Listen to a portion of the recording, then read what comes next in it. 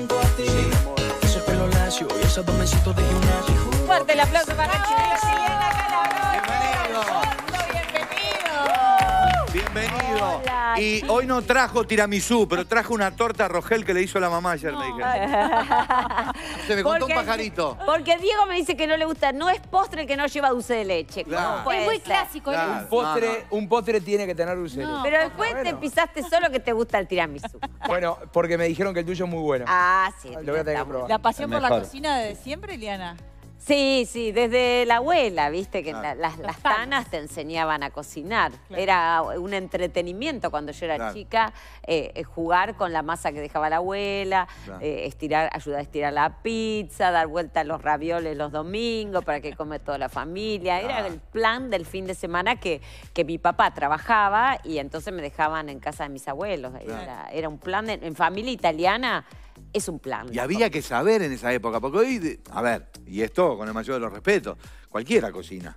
Sí, Eh, pero pasa- también- y claro. Cocina Catalina No, no, no, pará, pará, Te pará. faltó porque- decir eso. No, Te faltó no, decir cualquiera eso. cocina como, como nosotros. Como porque Catalina vas Google, ninguna. porque Como Catalina ninguna. En esa época no habían tanta, tanta, o sea, tenías que realmente Sí, saber. No, porque investigar. a- aparte iba de generación en generación, Claro. porque antes no había como ahora tutoriales de todo lo que Claro. se te Claro. ocurra, y- o programas de, de cocina. Era el librito con la, la anotación de la abuela. Eran la- y los sigo teniendo, los de la anotación de la abuela, que encima se 房 porque Algunos no te daban. Ah, todo. no te daban. no, todos los No, secretos. no, no te daban. te anotaban, te ponían las las Claro. cosas. A Pero ojo, mira, después lo entendí, no es por Viste, mal. no son como vos, Cata, que sacan un Obvio. libro para compartir tu conocimiento. Claro. Qué grande, Cata. Ahora, hablando ¿Con de qué ese- nos va a sorprender en un rato? Canta te puede sorprender con cualquier cosa. Te puede sorprender porque además todo le Ahora queda quiere bien. arreglarla, mirá.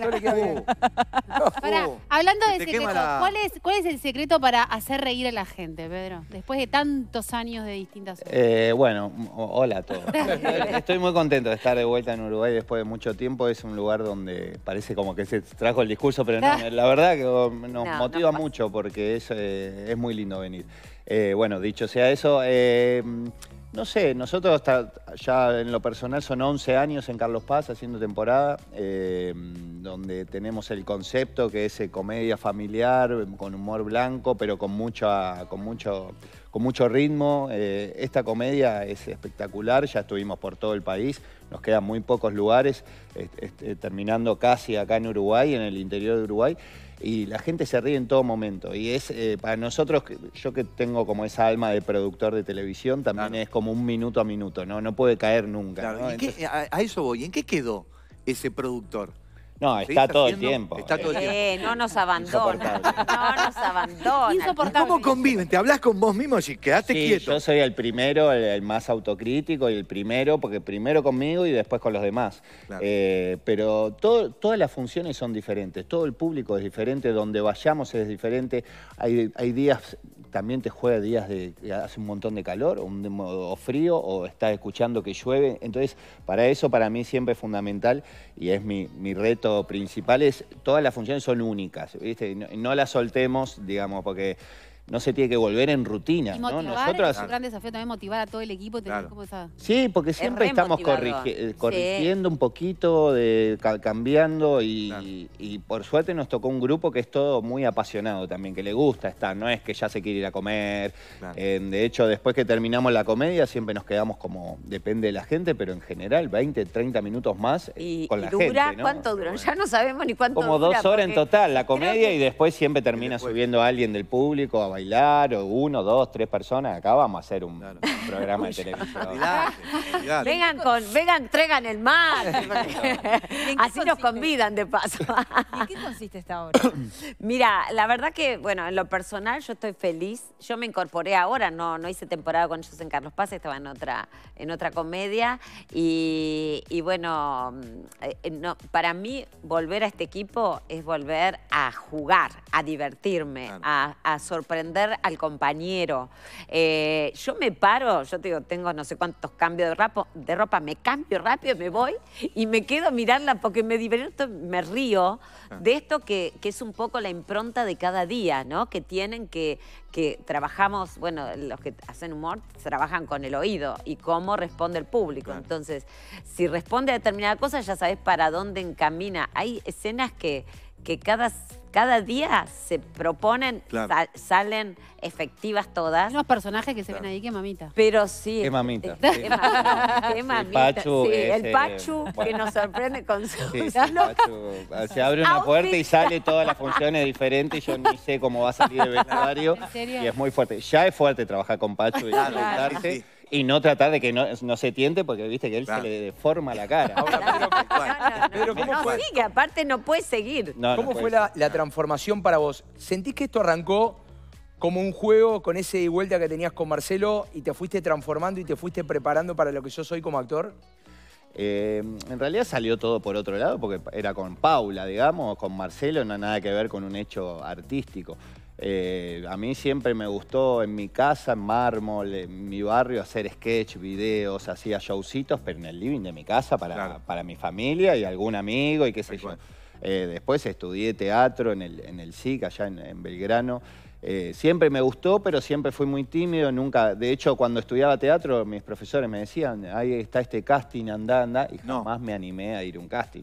Hoy por hoy tengo que ir a un casting y me muero. Eh, Ah, pero por eso. Claro. ¿Pero qué, qué fue lo que, te poten- lo que te potenció? ¿El bailando te potenció? No, ahí fue, bueno, de repente, popularidad. che, tenemos que, vamos, a- probamos a hacer temporada en Carlos Paz, pasó como, bueno, vamos a ver qué pasa. Y ahí cuando subí al escenario me di cuenta, Hiciste clic. esto, esto, Ya está. Esto lo mío. es Claro. acá, es acá, de acá no me quiero Y lo bajar que más. creció Pedro, yo mirando de afuera en las todos estos, no, no, en todos estos años también, bueno, un gran maestro que fue Emilio. Sí, claro, Emilio. Eh, y, y hoy lo veo arriba del escenario, lo disfruto, lo disfruto desde esta cosa que, eh, que él tiene de, de explorar, de manejar los silencios, los tiempos, la mirada. Sí, sí, la que- credibilidad, ¿no? Sí, O sea, tal cual, tal cual. Me parece Y que es yo me da mucha, mucha satisfacción ver eh, todo este recorrido que esa fuerza de observación, de trabajo y de, de mucha responsabilidad y profesionalismo Claro. Puestos al servicio de esa gente que nosotros siempre decimos, ¿no? Que, que hace el esfuerzo para comprar la entrada, eh, va, en este caso, vienen en familia, es, es una salida, un plan que esperan por mucho tiempo, que, que llegan con, con sacrificio y que uno tiene la responsabilidad de que les rinda eh, efectivamente. Y un teatro que ha cambiado mucho. Yo lo, lo vengo manteniendo ya hace un tiempo. Antes, a ustedes les pasaba que una obra estaba 7, 8, 9 años y ahora de repente no se trabaja. Sí se trabaja en la, en la producción de la obra el mismo tiempo, pero después al aire, en los teatros, está muy poco tiempo. Acá en Uruguay pasa. Sí. Que de repente se hace todo el esfuerzo para 5, 10, 15 funciones y acá terminamos. Claro, ha sí, cambiado ah, mucho nos el teatro. Pasa en eso. no, en este, bueno, eh, ya va tres, cuatro años que no hacía gira y que menos, eh, son dos, tres meses Sí, de, hacer. Y esta, bueno, también te da esa cosa de pena, ¿no? Porque es Todo lo que habíamos conseguido, logrado. Y nosotros vamos siempre más o menos con un, concepto, un concepto, pero eh, siempre es muy diferente todo lo que hacemos. eh, y te da como esa cosita, ay, me gustaría hacer un poquito más porque es, eh, nos da es tanto trabajo y tanta y la comedia está con tanto ritmo tan, tan divertido que, que nos encanta hacerla. Y bueno, pasa eso, que es eh, ya está, se, se va y va a ser muy duro Hay que cuando, soltarla. cuando, Ah, sí, cuando la son última las, ul- función. las ultimitas. Pero lo disfrutamos mucho en la gira, que estamos yendo por todo el país. En lo personal, bueno, está el costado ese de dejar la familia y todo, que es duro, pero después en lo laboral eh, ten- armamos un grupo que es espectacular, que nos llevamos muy bien y disfrutamos mucho, vamos muy temprano todo. A mí siempre me encantó, a Ili también, ir dos horas antes, estoy en el teatro. Somos anti, por ahí de, de- hay, hay algunas leyes de teatro que no las, no las, no, no va en nosotros esto de, bueno, termina función, cierra el telón, nos vamos. Estamos muy cercanos con la gente y lo disfrutamos mucho. Claro.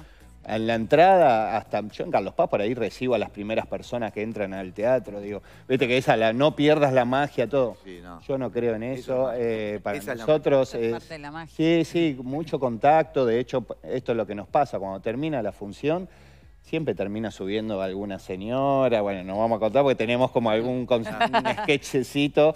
eh, pero eh, nos gusta charlar, bajar, sacarnos fotos. Digo, eh, lo sufrimos al principio por la pandemia porque no Claro, podíamos claro, hacer no eso y yo me sentía en Carlos Paz como que hago. Claro. Claro, Eh, pero disfrutamos mucho de llegar antes al teatro, sacarnos fotos. eh, La verdad que es- Sí. el grupo qué es así. Es Qué lindo que nos sea una obra para la familia y además para hacer reír, digo, porque es sanador es para, para los que vemos la obra y para ustedes también. Y la gente que es también lindo. es como que estaba ávida, ¿no? Sí, claro. Tanto tiempo privado de, de esto Había esa necesidad de, de salir, de, De de ver, divertir. divertir. divertirse, Sí. pasarla bien. Y sobre todo, la bueno, gente- sí, lo agradece mucho la gente en el interior, todo. Eso, sobre ¿no? El interior sí. que hacía mucho que no los visitaban y, y por ahí que van otros tipos de productos, pero no un producto que sea pura exclusivamente reidero y que los reúna, No, ¿no? ese humor blanco es eso, es como un humor sano, o sea, como bien Sí, sano. no, no hay, digamos. No, si tiene una hay picardía algún para que la insulto, puede- hay un No. doble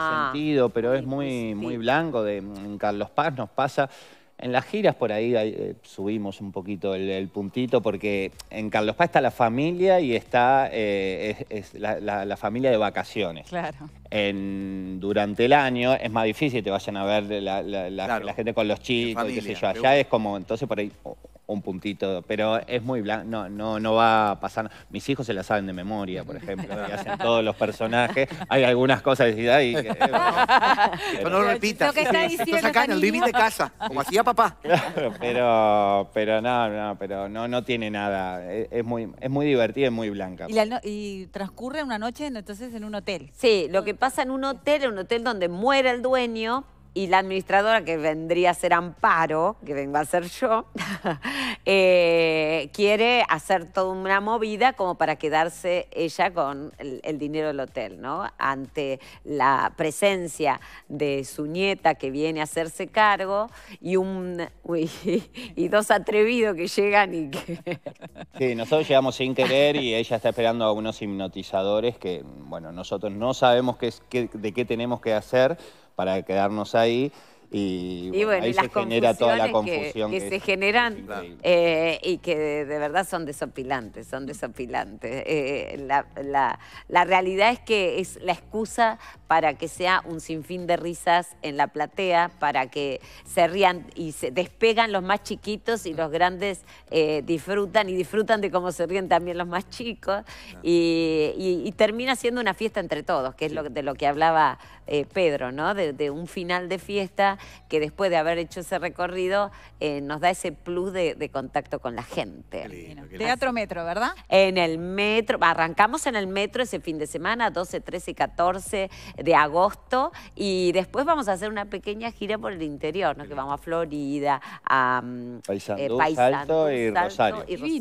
Así que Nos quedamos acá ya. Ah, Y, después, ¿Y verano 2023 dónde? ¿Ya está Eh, todo armado? Y estamos ahí empezando, sí. eh, lo que pasa es que la gira, bueno, nos, nos está llevando mucho tiempo eh, y los, los días que estoy en, la, en, en- en casa, ¿Dejaste una foto por la estoy en casa, sí.